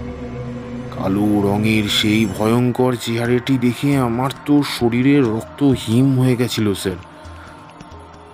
এরপরে এরপরে আমি দেখলাম সেই সেই বিশাল চেহারা দানবের মতো কিছু একটা বট গাছের উপর দিয়ে উঠে অন্ধকারের মধ্যে কোথাও একটা মিলিয়ে গেল। আমি কিছুতেই আর সেটিকে খুঁজে পেলাম না। গাছের পাশে আড়াল থেকে বিষয়টা লক্ষ্য করছিলাম। এমন সময় ওই ওই পাগল লোকটা ওখানে এসে কী সব বলে ডাকছিল না কাকে? সে সে এসে কাকে কি বলে ডাকছে? তার কথাগুলো অস্পষ্ট লাগায় আমি কোনো কিছুই আন্দাজ করতে পারছিলাম না। এমন সময় এমন সময় দেখলাম ওই লোকটি আমাকে দেখতে পেয়ে ইশারা করে কাকে যেন নেমে আসতে বলছেন। লোকটি আমাকে কীভাবে দেখতে পেয়েছিলেন আমি সত্যিই জানি না, স্যার। এরপরে দেখলাম সেই বিশাল চেহারা রঙের কালো একটা কিছু গোছের একটা গাছের ডাল বেয়ে নিচে নেমে আসছে। তার চোখের ভিতরটা একবারে লাল টক টক করছে। আমার আমার দিকে এগিয়ে আসতে দেখে আমি আমি আমি, আমি- প্রাণপণে সেখান থেকে গাড়ির দিকে ছুটতে শুরু করলাম। এরপর, এরপরে, এরপর গাড়ির ভিতরে কোনো রকম ঢুকে গাড়িটা স্টার্ট দিয়ে পিছন দিকে গাড়িটা নিয়ে আসতে শুরু করলাম। কোনো রকমের প্রাণ বাঁচিয়ে পালিয়ে এসেছিলাম বাবু। এর, এরপর এরপর সারা রাত গাড়ির ভিতরে বসেই কেঁপেছি। বাইরে বাইরে বেরোবারও সাহস হয়নি, স্যার। বিশুর কাছ থেকে কথাগুলো শুনবার পরে প্রচণ্ড ভয় পেয়ে গেলেন নেপালবাবু এতদিনের বিশ্বস্ত বিশু যে তাকে কোনোভাবেই মিথ্যা কথা বলবে না, এই বিষয়টি সম্পর্কে তিনি নিশ্চিত ছিলেন। এই গাছটির সাথে যে কোনো কিছু একটা জড়িত রয়েছে, তার প্রমাণ তিনি এর পূর্বেও পেয়েছিলেন। এছাড়া এই জায়গাটি থেকে তাদেরকে কোনো রকমে তাড়িয়ে দেওয়ার জন্যই যে কেউ সর্বদা চেষ্টারত, এই বিষয়টিও প্রধানের কথাগুলির মধ্যে দিয়ে স্পষ্ট অনুভব করতে পেরেছিলেন তিনি। বিশুকে উদ্দেশ্য করে তিনি বললেন, আমি আমি তোর কথাগুলো বুঝতে পারলাম, কিন্তু এই মুহূর্তে এই বিষয়ে কাউকে কিছুই বলার প্রয়োজন নেই। সব কিছুই যখন নির্বিঘ্নে ঘটে গেছে তখন বাদ দে। কারোরই তো কোনো ক্ষতি হয়নি। তাহলে আবার তাহলে আবার ভয় পাওয়ার কি আছে? আচ্ছা আচ্ছা তুই গতকাল রাতে মদ খেয়েছিলিস। সত্যি করে বল। হ্যাঁ হ্যাঁ হ্যাঁ স্যার। তা অল্পের উপর একটু খেয়ে ফেলেছিলাম বুঝতেই পারছেন।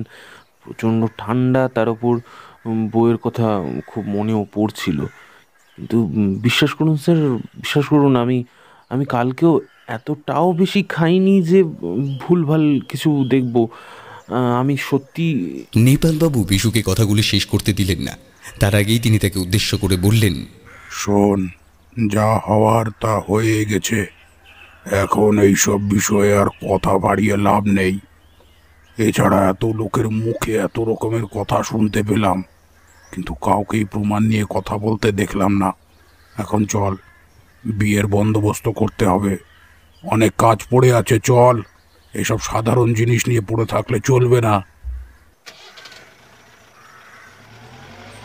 বিশুর সাথেই বাড়ির উদ্দেশ্যে রওনা হয়ে গেলেন নেপালবাবু। বাড়িতে পৌঁছে তিনি দেখলেন তার স্ত্রী, নির্মলা দেবী চুপচাপ সোফার উপরে বসে রয়েছেন। নির্বাণও বসে রয়েছে তার মায়ের পাশে। নেপালবাবুকে দেখা মাত্রই নির্মলা দেবী উত্তেজিত হয়ে উঠলেন। আমাদের সাত তাড়াতাড়ি নামিয়ে দিয়েই ওই লোকটার পেছনে দৌড়েছে। যবে থেকে ওই গ্রামে গেছি, তবে থেকেই কিছু না কিছু ঘটে চলেছে। যাওয়ার পথে রাস্তায় বিপদ। তারপরে আবার ওখানে পৌঁছে নানান রকম ঘটনা। এমনকি ফিরে আসবার সময় ওরকম একটা ঝড় বৃষ্টির মধ্যে আমাদের পড়তে হলো। আচ্ছা এই মেয়েটার মধ্যে এমন কি আছে?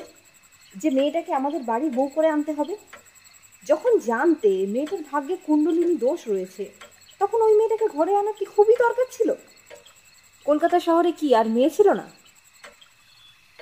নেপালবাবু নির্বাণের দিকে তাকিয়ে বললেন আমার মনে হয় সেটা তোমার ছেলেকে জিজ্ঞাসা করলেই বরং ভালো হবে। আমি তোমার ছেলেকে ওই মেয়েটার সাথে প্রেম করতে বলিনি। এটাও বলিনি যে আমার ওই মেয়েটাকে ভীষণ রকম পছন্দ হয়েছিল। তোমরাই তখন মা ছেলেতে মিলে আমার কোনো কথাই শুনতে চাওনি। এখন যখন এইসব ঘটনা ঘটছে, তখন তোমাদের টনক নড়েছে। যাক, এসব কথা বাদ দাও। যা হবার তা তো হয়ে গেছে। এখন আমাদের বিয়ের জন্য প্রস্তুতি নিতে হবে। গ্রামে যা ঘটেছে, সেসব নিয়ে মাথা ঘামিয়ে লাভ নেই। আমরা সকলে সুষ্ঠুভাবে শহরে ফিরে আসতে পেরেছি, এটাই যথেষ্ট। জ্যোতিষী তো বললেন যে পুজোর কাজ সম্পন্ন হয়েছে। তাহলে আবার এত চিন্তা করার কি আছে? বিয়ের পরে না হয় আরও একবার শান্তি সস্তানের ব্যবস্থা করে দেওয়া যাবে। আশা করি সব সমস্যা মিটে যাবে। নেপালবাবুর কথা শুনে শান্ত হলেন নির্মলা দেবী। নির্বাণ সেখানে মুখ খুললেন না। অন্যদিকে সুকৃতিদের বাড়িতেও বিয়ের তোড়জোড় শুরু হয়ে গিয়েছিল। পরিবারের সকলেই এই অনুষ্ঠানটি নিয়ে বিশেষভাবে উৎসুক হয়ে উঠেছিলেন। তাদের সকলের কাছে এই বিবাহটিকে নিয়ে এক আলাদাই উন্মাদনার সৃষ্টি হয়েছিল। বিবাহের দিন ক্রমশ এগিয়ে আসতে থাকল, কিন্তু এরই মধ্যে ঘটতে থাকল একাধিক অঘটন। সুকৃতির আচরণের মধ্যে এক বিশেষ পার্থক্য নজরে পড়তে থাকল সকলের। নিজের বিয়ে এগিয়ে আসলে প্রতিটি মেয়ের চোখে মুখে এক আলাদাই দীপ্তি লক্ষ্য করা যায়। সেখানে সুকৃতির মুখে ছিল অন্ধকারের ছায়া। খাওয়া দাওয়ার বিষয়টি থেকে শুরু করে নিজের প্রতিও সে যত্ন নেওয়া এক প্রকার ছেড়েই দিয়েছিল। পরিবারের কেউই এর সঠিক কারণ অনুধাবন করতে পারছিলেন না। তারা বহুবার বহু নামী ডাক্তারদের কাছে যাওয়া সত্ত্বেও এর বিহিত করতে না পেরে একদিন পাত্রপক্ষের সকলকেই বাড়িতে ডেকে পাঠানোর সিদ্ধান্ত নিলেন সুকৃতির শারীরিক অবস্থার অবনতির বিষয়টি নিয়ে সর্বাধিক চিন্তা প্রকাশ করলেন নির্বাণ। কিন্তু তার পাশাপাশি আরেকজনেরও মনেও চিন্তার মেঘ জড়ো হতে দেখা যাচ্ছিল। তিনি হলেন নেপালবাবু। নেপালবাবুর কাছে গোটা ব্যাপারটাই ছিল সন্দেহজনক। সবার কথা সত্যি বলে না ভাবলেও ড্রাইভার বিশুর কথাগুলিকে তিনি কিছুতেই অবিবেচ্য বলে ধরে নিতে পারলেন না। সত্যি যে সুরিগঞ্জের মাটিতে কোনো না কোনো অঘটন ঘটেছিল, এই বিষয়টি তিনি মনে মনে বিশ্বাস করতে বাধ্য হয়েছিলেন। সুকৃতির বাড়িতে প্রবেশের পরেই তার এই ধারণাটি অনেক বেশি মাত্রায় প্রকৃষ্ট হয়েছিল। সুকৃতির ঘরে গিয়ে তিনি দেখলেন তার চোখ মুখ একেবারে শুকিয়ে গেছে। বিছানার সাথে লেগে গেছে মেয়েটি। তার এই অবস্থা দেখে নেপালবাবুর মনের গভীরে লুকিয়ে থাকা ভয়টা আরও অধিক মাত্রায় দানা বাঁধতে শুরু করেছিল। তিনি সুকৃতির দিকে এগিয়ে গিয়ে বললেন আমি তো কিছুই বুঝতে পারছি না। মাঝখানে একটা মাস হয়তো আমরা কেউ ওই বাড়ি থেকে তোমার কাছে আসতে পারিনি। ব্যবসার কিছু কাজ পড়ে গেছিল। আর তাছাড়া নির্বাণও একটু ব্যস্ত হয়ে পড়েছিল তাই সেভাবে ফোনেও যোগাযোগ করতে পারিনি। কিন্তু কিন্তু এসব কি দেখছি মা? তোমার শরীরের এমন অবস্থা কি করে হলো? তুমি তো দিব্যি সুস্থ ছিলে। সুকৃতি খুব কষ্ট করে খাটের উপরে উঠে বসলেন। তারপর বললেন ঠিক ঠিক বলতে পারব না কাকু। তবে গ্রাম থেকে ফিরে আসার পরই আমার শরীরটা ভীষণ খারাপ লাগতে শুরু করে। সব সময় মনে হয় ঘাড়ের উপর কিছু একটা চেপে বসে রয়েছে। এতটাই ভারী যে আমার আমার নিঃশ্বাস বন্ধ হয়ে আসার মতো। কিন্তু কাউকেই দেখতে পায় না।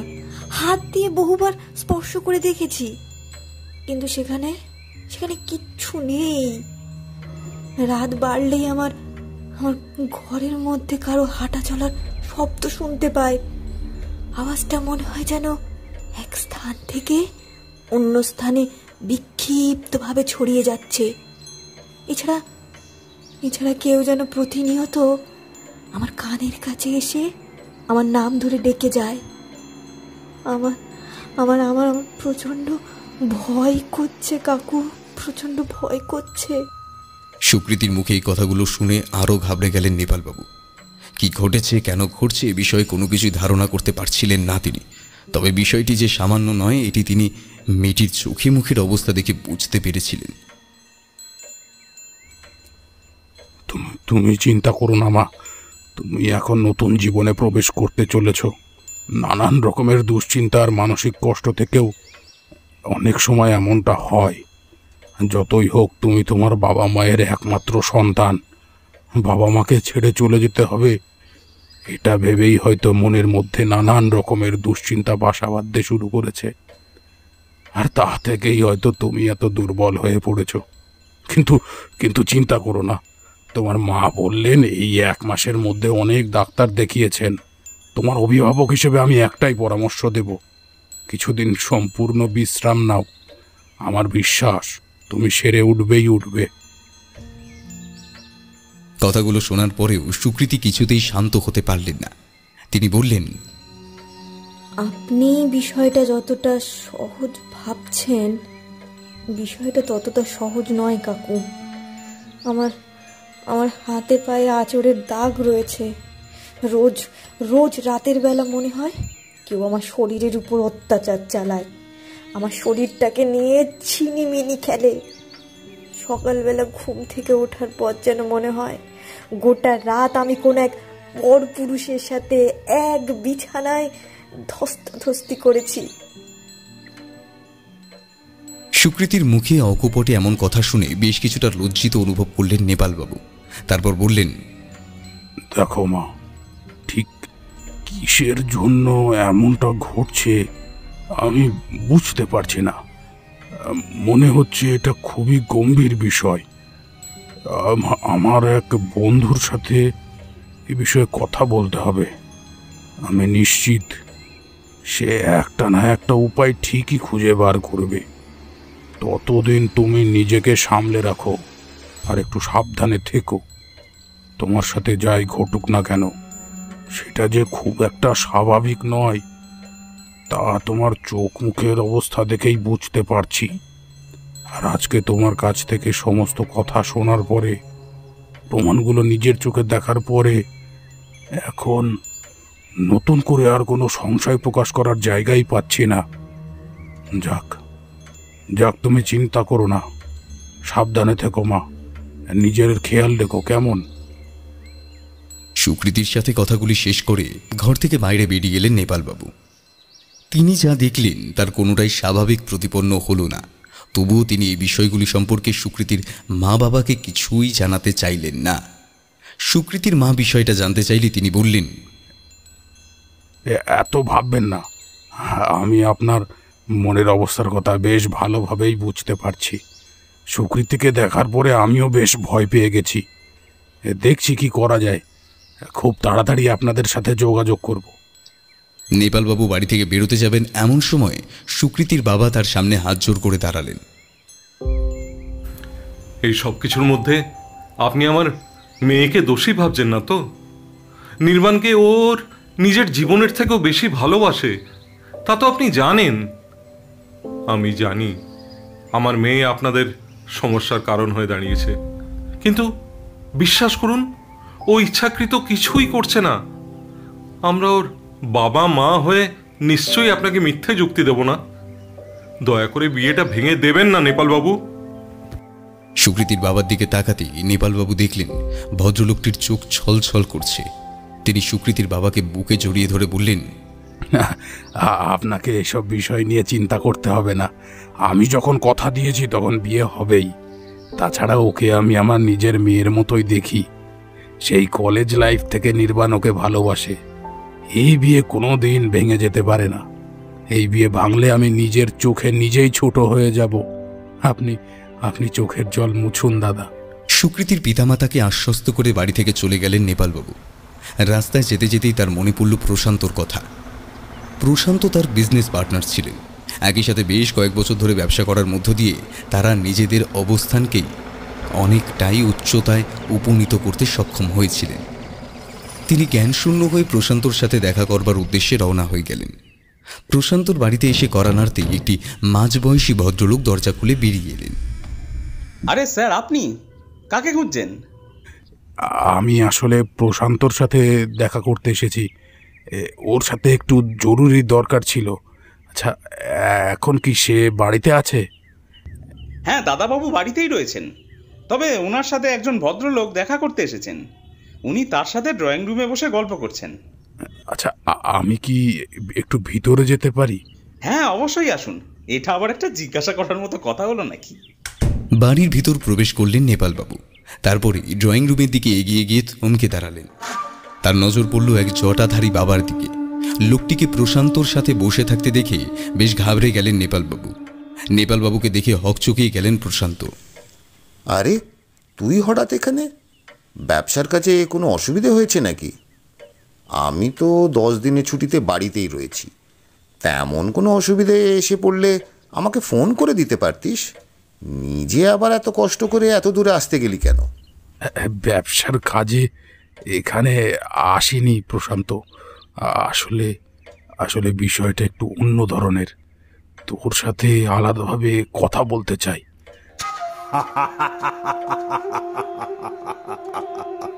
নেপালবাবুকে দেখা মাত্রই সজোরে হেসে উঠলেন এই জটাধারী লোকটি।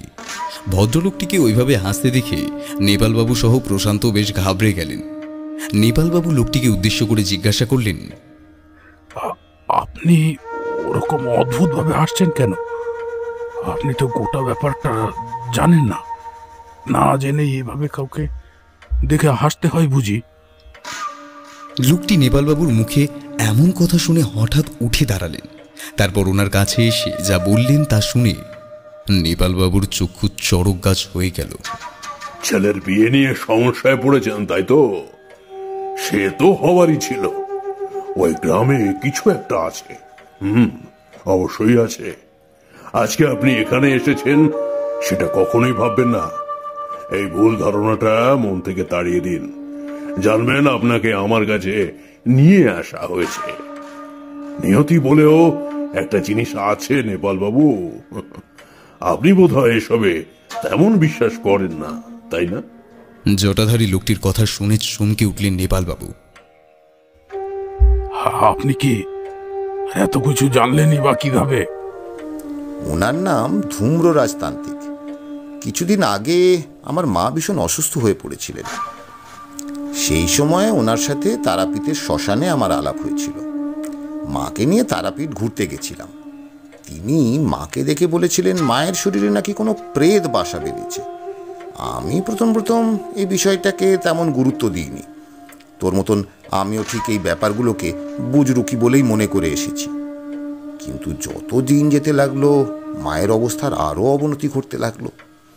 তখন আমি বাধ্য হয়ে পুনরায় তারাপীঠে গিয়ে ধূম্ররাজ বাবার শরণাপন্ন হতে বাধ্য হয়েছিলাম। এরপর তিনি আমার বাড়িতে এসে অনেক রকমের যাগ, যজ্ঞ করে মাকে সুস্থ করে তুলেছিলেন।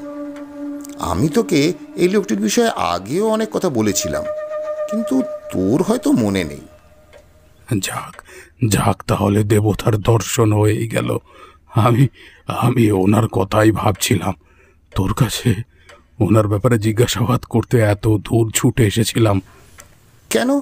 কি হয়েছে? তোর পরিবারে কি এরকম কোনো দুর্ঘটনা ঘটেছে? সেটা তো বুঝতে পারছি না। তবে যে মেয়েটির সাথে আমার ছেলের বিয়ে ঠিক করেছি সেই মেয়েটির মধ্যে এক অদ্ভুত পরিবর্তন লক্ষ্য করছি। মেয়েটির ভাগ্যে কুণ্ডলিনী দোষ থাকায় তাকে আমি আমার গ্রামে নিয়ে গিয়েছিলাম। আমার এক চেনা পরিচিত জ্যোতিষীর পরামর্শ অনুযায়ী আমাকে এই কাজটা করতে হয়েছিল। এই কুণ্ডলিনী দোষ কাটানোর জন্য মেয়েটিকে বট গাছের সাথে বিবাহ দেওয়ার উপদেশ দিয়েছিলেন ওই জ্যোতিষী। আর ঠিক সেই কারণেই উভয় পরিবারের সকলেই আমার সাথে সুরিগঞ্জ গিয়েছিল।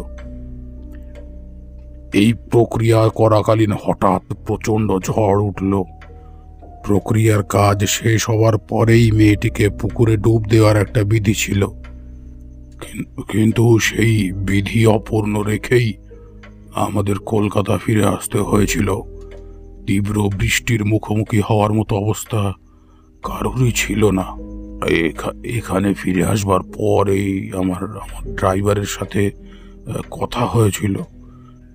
ড্রাইভার এমন একটা অদ্ভুত ঘটনার কথা বলেছিল যার সাথে বাস্তবের কোনো মিলই নেই। সে নাকি কালো রঙের কোনো এক বিশালাকার পিসাজকে ওই বট গাছের মধ্যে মিশে যেতে দেখেছিল। বিষয়টা আমার বিশ্বাস হয়নি। ওই বট গাছের পাশেই ও নাকি কোনো এক বয়স্ক ভদ্রলোককে একা একা বিড় করে কি সব কথা বলতে শুনেছিল। প্রক্রিয়ার দিনেও আমরা ওই লোকটিকে সকলেই দেখতে পেয়েছিলাম। ওই লোকটি ওখানে কি করছিলেন, আমরা কেউই জানি না। আমার ড্রাইভার বলেছিল, ওই লোকটির কথাতে নাকি পিসাজ তাকে লক্ষ্য করে তাড়া করেছিল। দৌড়াতে দৌড়াতে গাড়িতে উঠে কোনো রকমে গাড়িটা স্টার্ট দিয়ে প্রাণে বেঁচেছিল সেদিন। আমরা সবাই কলকাতায় চলে এসেছিলাম ঠিকই, কিন্তু তারপর থেকেই সুকৃতির শরীরের অবনতি ঘটতে শুরু করে। সামনেই বিয়ে, অথচ অথচ মেয়েটাকে দেখলে মনে হয় যেন কোনো কঠিন রোগে আক্রান্ত হয়ে পড়েছে। আমি কিছুই বুঝতে পারছি না, তাই আমি তোর কাছে ছুটে এসেছি। তুই তুই তুই এর একটা বিহিত কর প্রশান্ত। তুই এবার একটা এর বিহিত কর প্রশান্ত। আপনারা যা ভাবছেন সেটা সত্যি নয়। এর পিছনে একটা বড় কারণ আছে। ঈশ্বর আপনার সাথে আমার সাক্ষাৎ করিয়েছেন। ঈশ্বর ওই ঈশ্বর আপনার সাথে আবার সাক্ষাৎ করিয়েছেন। সুকৃতির সাথে আমার দেখা করতেই হবে। ওর অবস্থা একেবারেই ভালো নয়। কিছু তো একটা অবশ্যই আছে, যেটা আপনারা আপনাদের সাধারণ চোখ দিয়ে দেখতে পাচ্ছেন না। আমি আজকেই আপনার সাথে যেতে চাই। আজকেই, এখনই। ধূম্র রাজতান্ত্রিকের কথা শুনেই নেপালবাবু হক চকিয়ে গেলেন। তবে আর দেরি না করে প্রশান্ত থেকে বিদায় নিয়ে বাড়ির উদ্দেশ্যে রওনা হয়ে গেলেন। সেদিন রাতটা ধূম্ররাজ নেপালবাবুর বাড়িতেই কাটালেন। পরের দিন সকাল হতেই তিনি সুকৃতির বাড়ির উদ্দেশ্যে রওনা হয়ে গেলেন। বাড়ির চৌকাটে পা দেওয়ার সাথে সাথেই ধূম্ররাজ চোখটা কপালের কাছে নিয়ে এসে বললেন, ঘোর অনর্থ ঘটেছে। আমি যা ভেবেছিলুম তেমনটাই ঘটেছে। আমাকে নিয়ে চলুন। ওই মেয়ের কাছে এক্ষুনি নিয়ে চলুন। ধূম্ররাজকে বাড়ির চৌকারের সামনে দাঁড়িয়ে থাকতে দেখে সুকৃতির মা বাবাও খুব ভয় পেয়ে গেলেন। তারা নেপালবাবুকে ওনার সাথে দাঁড়িয়ে থাকতে দেখে বেশি কিছু বলার সাহস করলেন না। নেপালবাবু যা করছেন সবটাই সুকৃতির ভালোর কথা চিন্তা করে। এই বিষয়টি সম্পর্কে তাদের পূর্ণ ধারণা ছিল। তারা হাত দেখিয়ে ধূম্ররাজকে সুকৃতির ঘরের দিকে নির্দেশ করতেই ধূম্ররাজ গট করে সেদিকে এগিয়ে গেলেন।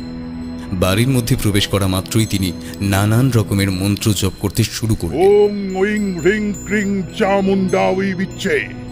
ওং ওইং হ্রিং ক্রিং চামুন্ডাওই বিচ্ছে। ওং ওইং হ্রিং ক্রিং চামুন্ডাওই বিচ্ছে। এক নাগারে এই মন্ত্রটি জপ করতে করতে দোতলার ঘরের দিকে অগ্রসর হতে লাগলেন। এরপর সুকৃতির ঘরের সামনে গিয়ে দাঁড়াতে একটি বিশ্রী গন্ধ তার নাকে ভেসে এলো। গন্ধটি নাকে যাওয়ার সাথে সাথেই তিনি দরজাটি ঠেলে ঘরের ভিতরে প্রবেশ করলেন। তারপরই তার নজর গেল দেওয়ালের দিকে। দেওয়ালের দিকে তাকাতেই তিনি প্রচণ্ড ভয় পেয়ে গেলেন। তিনি দেখলেন, দেওয়ালের সামনে দাঁড়িয়ে রয়েছেন সুকৃতি। তার মাথার কাছে কোনো এক প্রকাণ্ড কালো ছায়া দানা ভেদেছে সেটি তার কাঁধের উপরে দুপাশে দুটি পা দিয়ে বসে রয়েছে। বিষয়টি চোখে পড়া মাত্রই পুরো ঘটনাটি তার চোখের সামনে পরিষ্কার হয়ে গেল। তিনি কি দেখেছেন এই বিষয়টি সম্পর্কে ওখানে উপস্থিত কাউকে কিছু জানালেন না? সুকৃতি ওরকম একজনকে ঘরের মধ্যে ঢুকে আসতে দেখে বেজায় ঘাবড়ে গেলেন। বিষয়টি সম্পর্কে কিছু বুঝতে না পেরে মায়ের কাছে ছুটে গিয়ে তাকে জড়িয়ে ধরলেন। ধুম্ররাজ তার দিকে এক দৃষ্টিতে কিছুক্ষণ তাকিয়ে থাকবার পরে নেপালবাবুকে উদ্দেশ্য করে বললেন, আমি জানি আমাকে কি করতে হবে। তবে যেখান থেকে গোটা ঘটনাটি বিস্তার লাভ করেছিল, আমাকে একবার সেখানে যেতেই হবে। আপনি আমাকে একবার ওই গ্রামে নিয়ে চলুন। একটা কোনো ঘটনা ঘটেছিল, আর সেটির থেকেই এই পুরো বিষয়টার একটা যোগসূত্র তৈরি হয়েছে। এটি আজকের ঘটনা নয়, বহুদিন ধরে কোনো ক্ষোভ, জমাট বাঁধা অবস্থায় থাকতে থাকতে আজ এমন আকার ধারণ করেছে আপনি আমাকে সেখানে নিয়ে গেলেই আমি আসল রহস্যটা খুঁজে বার করতে পারব। বিয়ের জন্য আর কতদিন বাকি আছে? এই ধরুন পনেরো দিন। এর মধ্যেই সে আপনাদের এই মেয়েকে নিয়ে চলে যাবে। আপনারা টেরও পাবেন না। কোনো এক প্রেতের ছায়া রয়েছে আপনার মেয়ের ওপর। কিন্তু সেই প্রেত কোথা থেকে এসেছে? আর আপনার মেয়ের সাথে তার কি সম্পর্ক? সেইটাই জানতে হবে আমাকে। আখেরে কি চায় সে? কেন এভাবে আপনার মেয়ের শরীরের ওপর কবজা করে বসে রয়েছে সে এই নিন, এই ধাগাটি আপনি আপনার সাথে রাখুন। এটিকে আপনি সুকৃতির হাতে পরিয়ে দিন। এটা ওর হাতে থাকলে পিসাচ ওর শরীরের উপরে প্রভাব বিস্তার করতে পারবে না। আর এই কদিন আপনি সুকৃতির সাথেই শোবেন কেমন? রাতের বেলা ওকে একা শুতে দেবেন না। কথাগুলো মাথায় রাখবেন। ওই স্থানটি কোথায়? আমাকে সেখানে নিয়ে চলুন। নেপালবাবু কথা না বাড়িয়ে তাকে সঙ্গে নিয়ে বটগাছের দিকে রওনা হয়ে গেলেন। গাড়ি থামাতেই ধূম্ররাজের নজরে পড়ল এই সুবিশাল বটগাছ। বটগাছটি দেখা মাত্রই তিনি আতঙ্কের প্রহর গুনতে শুরু করলেন। ঠিক সেই সময় তার নজরে পড়ল শীর্ণকায় সেই লোকটিকে। তিনি দেখলেন, সেই লোকটি বটগাছের সম্মুখে দাঁড়িয়ে উপরের দিকে আঙুল তুলে কাউকে নির্দেশ করছেন। তিনি যে পাগল নন, এই বিষয়টি একজন তান্ত্রিকের চোখ তৎক্ষণাৎ ধরে ফেলল। তিনি ধীরে ধীরে সেই লোকটির দিকে অগ্রসর হলেন। লোকটির কাঁধে হাত রাখতেই লোকটি ঘাবড়ে গেলেন। ধূম্ররাজকে সামনে দেখা মাত্রই তিনি ওই স্থানটি ত্যাগ করে পালিয়ে যেতে লাগলেন, কিন্তু নেপালবাবু সামনে এসে পড়ায় লোকটি পালাতে পারলেন না। অগত্যা ধূম্ররাজের হাতে ধরা দিতে বাধ্য হলেন তিনি। লোকটিকে নাগালে পাওয়া মাত্রই ধূম্ররাজ তাকে সত্যি কথাগুলো বলবার জন্য বাধ্য করলেন। তুই জানিস আমিকে এখান থেকে পালানোর চেষ্টা করলেই কিন্তু ওই গাছটিকে ভেঙে গুড়িয়ে দেব আমি। আর তোর সেই প্রাণ ভমরাকে চিরকালের জন্য হারিয়ে ফেলবি তুই। কি? দেখাবো নাকি নমুনা হ্যাঁ? কথাটি শেষ করেই বটগাছটির দিকে বেশ কিছুটা ছাই ছুড়ে দিলেন ধূম্ররাজ। সাথে সাথেই গাছের একদিকটায় আগুন ধরে গেল। সাথে সাথে এক বিভৎস চিৎকার ভেসে আসতে থাকল ওই গাছটির মধ্যে থেকে। কোনো প্রেত যেন আর তো চিৎকার করছে এমন। বিষয়টি দেখে লোকটি ছটফট করতে শুরু করলেন। তারপরে ধুম্ররাজের দিকে তাকিয়ে হাত জোর করে মিনতি করতে লাগলেন। এরপর তাকে উদ্দেশ্য করে বললেন ওই গাছটার কোনো ক্ষতি করবেন না, ওই গাছটার কোনো ক্ষতি করবেন না। দয়া দয়া করুন আপনি, আমি আমি সব বলছি। এর পিছনে একটা মস্ত ইতিহাস রয়েছে। আমি তাকে বহুবার নিষেধ করেছিলাম, কিন্তু সে আমার কোনো কথা রাখেনি। গ্রামের লোকেরা সকলেই আমাকে পাগল ভাবে। কিন্তু আমি পাগল নই। এই গাছে যার প্রেত রয়েছে, সে আর কেউ নয়। আমার আমার নিজের ছেলে। আমার ছেলে তখন মাত্র চব্বিশ বছর বয়সী ছিল। মেধাবী ছিল। কলকাতায় এক মস্ত কলেজে পড়বার সুযোগ পাওয়ার পরে ওইখানেই হোস্টেলে থেকে পড়াশোনা করত। মাঝে মাঝে আসতো এখানে। আমার সাথে দেখা করে আবার চলে যেত। মা মরা এই ছেলেটির কাছে আমি আমি ছিলাম সব কিছু কলেজে পড়াকালীন সুকৃতি নামের একটা মেয়ের সঙ্গে ওর সাক্ষাৎ হয়েছিল। প্রথম দেখাতেই মেয়েটির প্রতি দুর্বল হয়ে পড়েছিল। এই কথাটা আমাকেই সবার আগে জানিয়েছিল। ওর কাছে গোটা বিষয়টা শোনার পরে আমি বুঝতে পেরেছিলাম যে মেয়েটি আমার সিধে সাদা ছেলেটাকে ফাঁসানোর চেষ্টা করছে। হ্যাঁ আমার আমার ছেলের প্রতি যে আর বিন্দুমাত্র ভালোবাসা নেই, সেটা সেটা আমি আমার ছেলে সম্বিতের কথা শুনেই বুঝতে পেরেছিলাম। বাবা হয়ে আমি যতটা পেরেছিলাম, তাকে সাবধান করার চেষ্টা করেছিলাম, কিন্তু শেষ পর্যন্ত পারিনি। এরপরে যে এরকম ভয়ানক পরিণতির সম্মুখীন হতে হবে, সেটার ধারণা ছিল না আমার। মেয়েটি ওর কাছ থেকে সমস্ত বিষয়ে জেনে পরীক্ষায় ফার্স্ট হলো হ্যাঁ। তারপর তো সম্বিতের সাথে কথা বলাই ছেড়ে দিয়েছিল। অন্য কোন একটা ছেলের সাথে ঘোরাফেরা করতে শুরু করেছিল। আমার ছেলেটা নির্বাক হয়ে বিষয়টা দেখতো, কিন্তু কোনো কিছুই প্রকাশ করতে পারত না। একদিন একদিন ওর ধৈর্যের বাঁধ ভেঙে যেতেই সেই মেয়েটির কাছে গিয়ে তার মনের কথা বলেছিল। আর তার মনের কথা বলতেই মেয়েটা আমার ছেলেটাকে তার জীবন থেকে ছুড়ে ফেলে দিতে দুইবারও ভাবলো না হ্যাঁ? আমার ছেলে সেই শোক সহ্য করতে পারল না গো। গ্রামে ফিরে এসে আমার সাথে একবার দেখা করেই কোনো রকমের নিজের দুঃখের কথা বলেছিল। এরপর আমাকে না জানিয়ে একদিন রাতের বেলা বাড়ি থেকে বেরিয়ে গেছিল। আমার অজান্তেই সেদিন যে এত বড় একটা অঘটন ঘটে যেতে পারে, এটা জানলে আমি কোনোদিনই তাকে বেরোতে দিতাম না। পরের দিন সকালবেলা হ্যাঁ পরের দিন সকালবেলা গ্রামের মানুষের চিৎকার, চেঁচামেচি, শব্দ পেয়ে আমি বাইরে এসে যা দেখেছিলাম তা আজও বিশ্বাস করতে পারিনি। ওই গাছটির সাথেই ওর দেহটাকে ঝুলতে দেখেছিলাম আমি।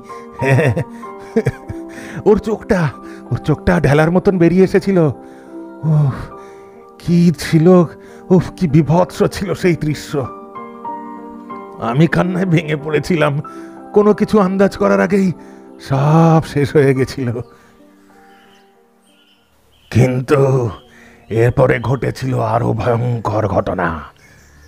আমার ছেলে যে প্রেত হয়ে ফিরে আসবে, তা আমি কল্পনাতেও ভাবতে পারিনি। ঘরের মধ্যে শুরু হলো নানা রকমের উপদ্রব। এরপর থেকেই আমি আন্দাজ করতে পারলাম, আমি ছাড়াও এই ঘরে কেউ রয়েছে। একদিন একদিন এক বিশাল ছায়াকে আমি আমার ঘরের দেওয়ালের দিকে দাঁড়িয়ে থাকতে দেখলাম। সেই ছায়াটাকে লক্ষ্য করে বাড়ির বাইরে বেরোতেই সেটা বটগাছের কাছে এসে মিলিয়ে গেল। এরপরেই হা, করে একটা অট্টহাসির শব্দ পেলাম আমি। হ্যাঁ তারপর তারপর সেই প্রেত আমার সামনে এসে উপস্থিত হয়ে আমাকে নিজের পরিচয় দিল। আমি বিষয়টা দেখা মাত্রই অবাক হয়ে গেছিলাম।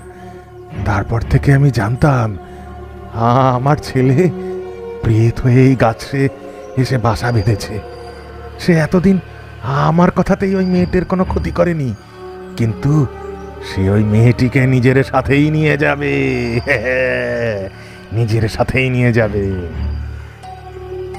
এই বিষয়টা জানার পরেও আমি চুপ করে বসে, আর এই বিষয়টা জানার পরে আমি আর চুপ করে বসে থাকতে পারলাম না। গ্রামের কাছে, উপস্থিত এই গাছটার কাছে এসে দাঁড়িয়ে আমি আমার ছেলের সাথেই কথা বলতাম। কিন্তু গ্রামের মানুষরা ভাবতো, আমি বোধহয় পাগল হয়ে গেছি। আসলে আমি আমার সন্তানের সাথেই রয়েছি, বুঝেছেন? এতদিন সে ওই মেয়েটির জন্যই অপেক্ষা করছিল। আপনারা গ্রামে আসার সাথে সাথে ওই মেয়েটির উপর আবার দৃষ্টি পড়েছিল তার। ব্যাস, তারপর থেকেই আমি তাকে আর ধরে রাখতে পারিনি। সে ওই মেয়েটিকে এবার এবার নিজের সাথে করে নিয়ে যাবেই। যেদিন তাকে এখানে নিয়ে আসা হয়েছিল, সেই দিনকেই ওই প্রেত প্রবেশ করল ওর শরীরে। এখন সে আর এখানে থাকে না। মাঝে মাঝে আমার সাথে দেখা করে বেশ কিছু কথা জানিয়ে আবার ফিরে যায়। নেপালবাবু কাঁদতে শুরু করলেন। সবটা জানবার পরেই তিনি ভেঙে পড়লেন। এখন সে সুকৃতির শরীরের মধ্যে প্রবেশ করেছে। তার কাঁধের উপরে চব্বিশটা ঘণ্টা বসে রয়েছে। সে শেষ করে ফেলতে চাইছে ওই মেয়েটিকে।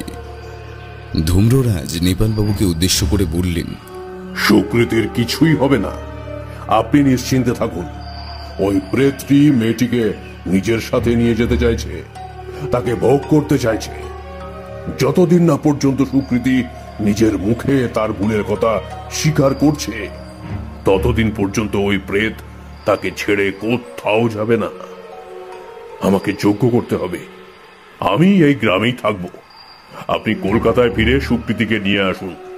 ওর পরিবারের বাকিদেরকেও এখানে আসতে বলবেন। তাদের সামনেই ওই প্রেত সুকৃতির মুখ থেকে তার স্বীকারোক্তি চাইবে। আপনি আর দেরি করবেন না। তাড়াতাড়ি তাকে নিয়ে আসুন। ধূম্ররাজের কথা মতো কলকাতার উদ্দেশ্যে রওনা হয়ে গেলেন নেপালবাবু। সুকৃতির হাতে সেই ধাগাটি বাধা থাকায় সেই প্রেত সুকৃতির শরীরের উপরে প্রভাব বিস্তার করতে পারল না। তারা পরের দিন সকালের মধ্যেই সুকৃতিকে নিয়ে গ্রামে চলে এলেন। সেদিন সন্ধ্যাবেলাতেই এক বিশেষ ক্রিয়া করতে বসলেন ধূম্ররাজ। ওই বটগাছের সামনে বসে মন্ত্র পাঠ করতে শুরু করলেন। মন্ত্রের তীব্রতা ক্রমে বৃদ্ধি পেতে শুরু করল। কিছুক্ষণের মধ্যেই প্রকৃতি উত্তাল হয়ে উঠল। প্রবল বেগে ঝড় ওঠার সাথে সাথে বজ্রের ধ্বনি চারিদিকে তীব্রভাবে ছড়িয়ে পড়তে শুরু করল। সুকৃতির মনে হলো কিছু একটা যেন তার শরীর থেকে বেরিয়ে ওই বটগাছের চারিপাশে ঘুরতে শুরু করেছে। এই সময় ধূম্ররাজ তাকে বললেন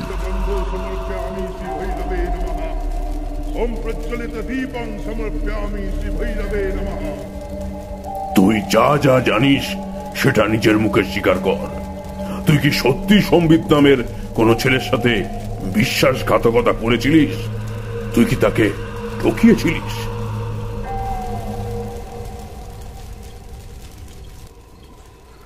হ্যাঁ সম্বিত আমাকে খুব ভালোবাসত। আমি রূপের জালে জড়িয়ে তাকে ব্যবহার করেছিলাম। তাকে ব্যবহার করে নিজের অবস্থার উন্নতি ঘটাতে চেয়েছিলাম। কলেজে সকলেই তাকে বিশেষ সমীহ করে চলতেন। আমার সমান ক্ষমতা থাকা সত্ত্বেও আমি কোনো দিন তার জায়গা নিতে পারিনি। তাই আমি ওর কাছ থেকে পড়াশোনার বিষয়ে সব কিছু জেনে নিয়ে ওকেই পিছনে ফেলে এগিয়ে যেতে চেয়েছিলাম। ও ও নিজের অজান্তেই আমাকে পছন্দ করেছিল। আর আমিও আমিও সেই সুযোগটা নিতে দুবার ভাবিনি। ও আমাকে সব কিছু বলে দিত। ওর কাছ থেকে সব নোট নিয়েই আমি পরীক্ষায় ভালো ফল করতে শুরু করেছিলাম। ফার্স্ট হতো। আস্তে আস্তেও আমার প্রেমে বিভোর হয়ে পড়ল। পড়াশোনা তো ঠিকঠাক মন বসাতে পারত না। এর ফলে খুব সহজেই আমি টপার হয়ে গেলাম। ও আমাকে দেখে হিংসাও করতো না। আমি ওকে বিয়ের প্রতিশ্রুতিও দিয়েছিলাম। কিন্তু কিন্তু নির্বাণ আমার জীবনে ওর অনেক আগে থেকেই ছিল। আমি ওকেই ভালোবাসতাম। সম্বিতকে কেবল আমার স্বার্থের জন্য ব্যবহার করেছিলাম আমি। এরপরে এরপরে আমি একদিন এই কথাগুলোই মুখের উপরে বলে দিয়েছিলাম। কিন্তু কিন্তু তারপর থেকে আমি ওকে আর দেখতে পাইনি। ও কোথায় চলে গেল? আমি আমি জানতে পারিনি। কিন্তু সে যে সে যে মারা গেছে মারা গেছে, আমি আমি আমি আমি জানতাম না, আমি জানতাম না। এই এই এই এই এই গ্রামে আসার পরও সে আমার সাথে দেখা করতে এসেছে। কিন্তু সেদিন আমি তার কাছে ক্ষমাও চেয়েছিলাম। আমি তাকে আমি তাকে সম্বিতের রূপেই দেখেছিলাম। কিন্তু আজকে? আজকে যাকে দেখছি, তাকে আমি, তাকে তাকে আমি বিশ্বাস করতে পারছি না না না না, তাকে আমি বিশ্বাস করতে পারছি না। এসব এসব কি কখনো সত্যি হতে পারে? কখনো কি এসব সত্যি হতে পারে? না না, আমি পাচ্ছি না, আমি বিশ্বাস করতে পারছি না। কি শান্তি। আজ আমার খুব ভালো লাগছে। এতদিন ধরে বুকের মধ্যে এই যন্ত্রণা নিয়ে বেঁচে থাকতে বাধ্য হয়েছিলাম। কিন্তু এই দিনটার অপেক্ষায় ছিলাম আমি। কবে ও নিজের মুখে নিজের ভুল স্বীকার করবে? আজকে ও স্বীকার করেছে। এবার আমার মুক্তি চাই। আমি তোর কোনো ক্ষতি করতে চাইনি, সুকৃতি। আমি তোকে পাগলের মতো ভালোবেসেছিলাম। আমি চাইলে তোকে শেষ করে ফেলতে পারতাম। কিন্তু আমি মৃত্যুর পরেও তোকে অতটাই ভালোবাসি যতটা আগে বাসতাম তুই যদি আমার কাছে জিনিসগুলো চাইতিস, আমি তোকে এমনিতেই দিয়ে দিতাম। তার জন্য আমার মন নিয়ে খেলা করার দরকার ছিল না। তোর জন্যই আমাকে এত সুন্দর পৃথিবী ছেড়ে চলে যেতে হয়েছিল। আমি নিজেকে কোনোদিন ক্ষমা করতে পারিনি। অতৃপ্ত আত্মা হয়ে এই গাছের মধ্যে বন্দি হয়ে থেকে গেছে। কিন্তু আজকে আমার মুক্তির দিন, আমি এই জন্যই এতদিন ঘুরে বেড়াচ্ছিলাম। এরপর আস্তে আস্তে গোটা পরিসরটি শান্ত হয়ে গেল। সব কিছু স্বাভাবিক হয়ে গেল। প্রকৃতিও বেশ শান্ত হলো। সুকৃতিও জ্ঞান হারালেন। যজ্ঞের আগুনটাও ততক্ষণে নিভে গিয়েছিল। ভোর হয়ে এসেছিল। ধূম্ররাজ বললেন, যাক, এবার তমসার মেঘটা কেটে গেছে। সুকৃতি এখন বিপদমুক্ত। সম্বিতের আত্মায় পৃথিবী ছেড়ে চলে গেছে। সে এখন মুক্ত। এতদিন সে এক নিদারুণ যন্ত্রণা নিয়ে উদ্ভ্রান্তের মতো ঘুরে বেড়াচ্ছিল। তার এই খোঁজ সমাপ্ত হয়েছে। সে যা চেয়েছিল তা পেয়েছে। আর এই কাজে তাকে সাহায্য করেছি আমি। যাক, এখন আপনারা সকলেই বিপদমুক্ত। সম্বিতের পিতাও চোখের জল ফেলতে ফেলতে স্থান ত্যাগ করলেন।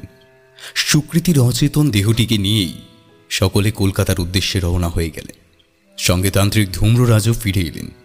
এরপরে মহা সমারোহে নির্বাণ সুকৃতির বিবাহ সম্পন্ন হয়েছিল। তারপরে আর কোনোদিনও সম্বিতের কাদো ছায়া তাদের সুখী জীবনের উপরই কুপ্রভাব বিস্তার করতে পারেনি। তাদের প্রেম প্রকৃত অর্থেই জয়ী হয়ে গিয়েছিল।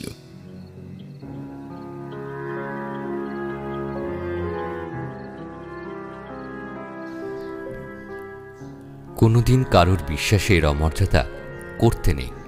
কাউকে নিজের স্বার্থে ব্যবহারও করতে নেই। তাহলে এইভাবেই সেই ভুলের প্রায়শ্চিত্ত করতে হতে পারে। তাই নিজের অজান্তে যদি কাউকে নিজের স্বার্থে ব্যবহার করে থাকেন, তবে এই গল্প থেকে প্রাপ্ত নৈতিক শিক্ষাটির কথা অতি অবশ্যই স্মরণে রাখবেন। নমস্কার, আমি পার্থপ্রতিম। এতক্ষণ আপনারা শুনছিলেন লেখিকা সঞ্চারী ভট্টাচার্যের কলমে। ও আসবেই। গল্প পাঠে ছিল ব্রতদ্বীপ অরূপ, রাকিব, নীলাঞ্জন, সংহিতা, অভিজিৎ, মৌসুমী, ঈশান, স্বাগতম, পার্থ, ইন্দ্রজিৎ, শেষাদ্রি, আসঞ্জন, সোনালী, জয়দীপ, সুদীপ্ত ও আমি, পার্থপ্রতিম। শব্দ সংযোজন ও ব্যাকগ্রাউন্ড মিউজিকে সিট, সংগীত পরিবেশনায় তরুণ মণ্ডল ও প্রচ্ছদ কৃষ্ণেন্দু। গল্পটি সমগ্র পরিচালনা ও পরিকল্পনায় পার্থপ্রতিম ও সিট। গল্পে ব্যবহৃত গানটির এক্সটেন্ডেড ভার্সন পেতে কমেন্ট করে জানান আমাদের। আর আজকের গল্পটি খুব ভালো লেগে থাকলে শেয়ার করুন সবার সাথে। তবে আজ আসি। আবার অন্য কোনো দিন এক নতুন গল্প নিয়ে হাজির হব আপনাদের কাছে। ততদিন ভালো থাকুন, সুস্থ থাকুন, আর শুনতে থাকুন রহস্যের অন্ধকারে। শুভরাত্রি। ও হ্যাঁ যাওয়ার আগে একটা ছোট্ট আপডেট দিয়ে চাই আপনাদের। এখন আমাদের গল্প শুনতে পাবেন স্পটিফাই জিও সেভেন ও গানা অ্যাপে। লিংক ডিসক্রিপশন বক্সে দেয়া থাকল।